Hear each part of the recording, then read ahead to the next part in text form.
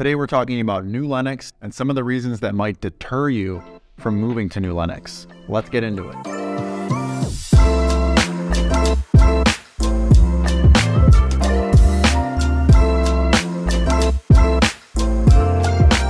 Welcome back to another episode of Chicago Suburbs Living. As always, I'm your host, John Sintich. Today we're unpacking some of the major negatives about moving to or living in New Lenox, Illinois. New Lenox is a quiet suburb of about 27,000 people. It's about 40 miles southwest of downtown Chicago and has a lot to offer in the way of great schools, great community, things to do, but there are some negatives of living in New Lenox. In a previous episode, I cover all the awesome things about living in New Lenox, so definitely check that out and compare this one, all the cons, to the pros of living in New Lenox. Before we dive into the video, I want to remind everyone that's watching that I am a licensed realtor in the state of Illinois. If you need any help at all buying or selling real estate in the Chicagoland area, I'm more than happy to help. All my contact information is going to be in the description of this video down below. It's also going to be on the screen. All right, let's jump in. One of the major negatives of living in New Lenox is going to be the property taxes. If you watch any of my other videos that cover some of the other suburbs in the Chicagoland area, you already know Chicago and Illinois is one of the worst places in the country when it comes to property tax. It's just how it is. It is what it is. It's unfortunate. If you're coming from California or maybe New York, you're probably not going to feel that as much because you're already used to higher property taxes. But if you're relocating from maybe Tennessee, South Carolina, or some of these other low property tax areas, it's going to sting a lot more. There's just no getting around it. There's no hiding from it, legally, that is. I don't recommend cheating on your taxes. But you're going to be paying anywhere from 1.5 to 2.5% of your property's value in property taxes every year. And this can really eat away at housing affordability. Sound off in the comments below what your opinion is on taxes in general. I'm sure we can have a civilized discussion about that. Another major negative about living in New Lenox is the lack of new construction under $400,000 in a, you know, a more median price point area, so to speak. There's just no new construction starter homes, for example, a three bedroom, two bath, maybe 2,300 square foot home that's newly constructed that's going to be less than $400,000. If you're looking for new construction in New Lenox, you're definitely going to be paying a pretty penny.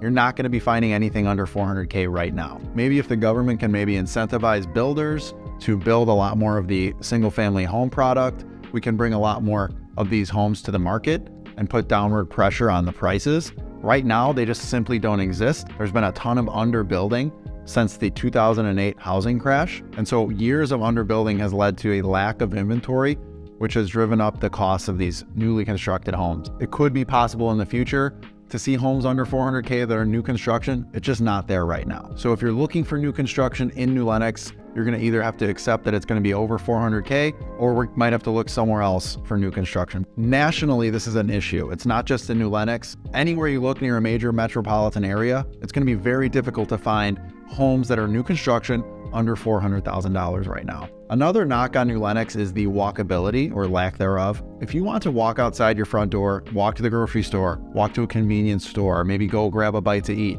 you better put your walking shoes on, grab a bottle of water, maybe an emergency snack, because it's going to take you a long time. You're going to burn a lot of calories walking. You simply need to own a car in order to navigate and explore all of what New Lenox has to offer.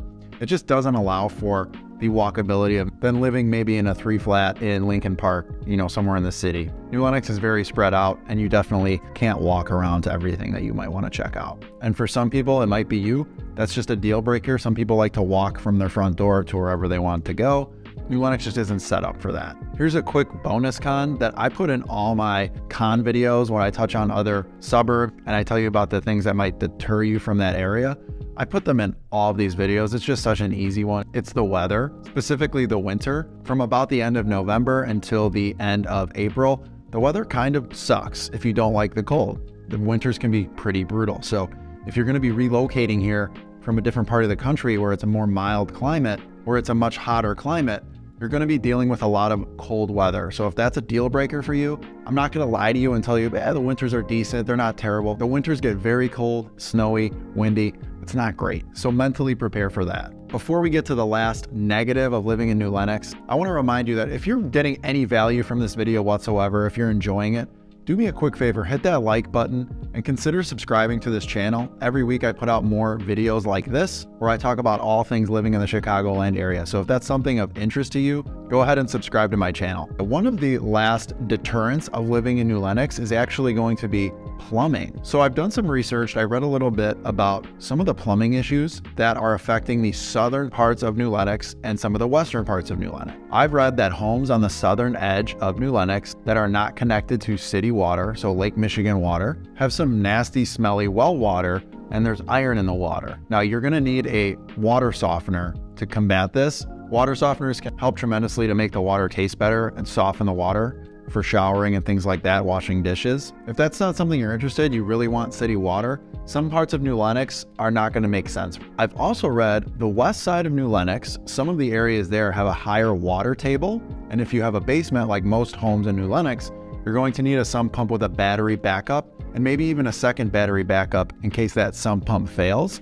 Because if your sump pump fails, you could likely end up with water in your basement very quickly. And the last thing people need is water in their basement. However, of all the homes that I've sold in New Lenox, I've never heard of any issues with water in the basement or anything like that. If you definitely want to be hooked up to Lake Michigan water, some parts of New Lenox might just not make sense. There you have it, folks. Many of the major deterrents that may make you think twice about moving to New Lenox. Overall, New Lenox is a phenomenal community in which to live. But if any of the things that I mentioned in this video are complete deal breakers for you, then New Lenox is probably just not the place for you, and that's totally okay. Either way, I hope you got value from this video and I'll see you guys on the next one.